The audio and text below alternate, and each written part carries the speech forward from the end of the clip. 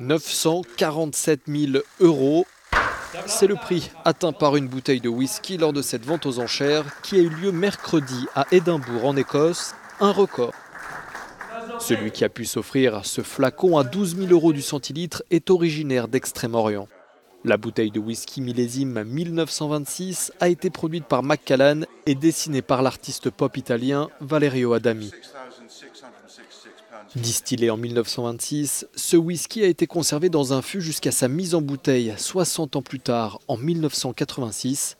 24 bouteilles avaient alors été produites, dont celle-ci.